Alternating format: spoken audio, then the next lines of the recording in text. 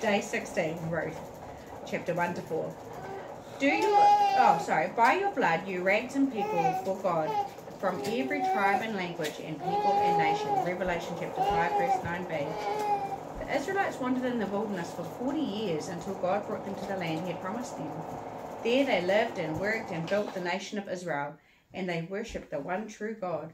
Ruth lived in a country next to Israel called Moab. She married a man from Israel. The man and his family had left their home in Bethlehem because of a famine. But when Ruth's husband died, Ruth had to make a hard choice. She, she could go back with her husband's mother, Naomi, to Israel.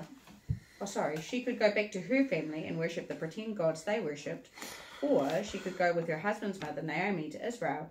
Naomi was poor and she had nothing to offer. But Ruth loved Naomi and believed in God. Ruth made a decision. She told Naomi, Your people shall be my people, and your God my God. Ruth chapter 1, verse 16. They went to Israel together to Bethlehem. Ruth was a foreigner, and the people of Israel did not trust Moabites. They were, there were probably many people who were not kind to her. But a man named Boaz did a kind thing for Ruth and Naomi. Boaz grew barley and wheat. One day Ruth went to his field to see if his workers had left any grain behind.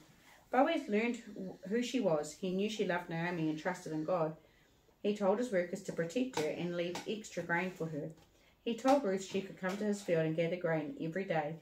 Because of Boaz, Ruth and Naomi had food when they were hungry. Later, Ruth asked Boaz to take care of her so she and Naomi would always have what they needed. And Boaz did. He loved Ruth and married her, and they had a son named Obed. Obed became the grandfather of Israel's greatest king. Who was that? Israel? No, who was the great greatest king in Israel? Oh, um, What was um, David? David. Yeah, King David. No, that was. Obed's son was Jesse. Yeah. Uh, So Obed became the grandfather of Israel's greatest king, David. Even though Ruth was not an Israelite, she trusted God, and God made her the great grandmother of a king. wait, so David wasn't even fully Israelite. No. From her family line, another son would come, the king of all kings, born as a baby in Bethlehem, just like Obed. Do you know the name of the king of kings, born as a baby in Bethlehem? Mm-hmm. Who was born as a baby in Bethlehem?